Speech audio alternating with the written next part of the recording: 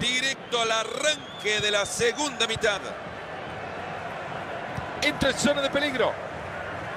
Ahí va buscando una pierna. El centro que termina con dominio del... Se abre espacio y puede ser una oportunidad. ¡Gol!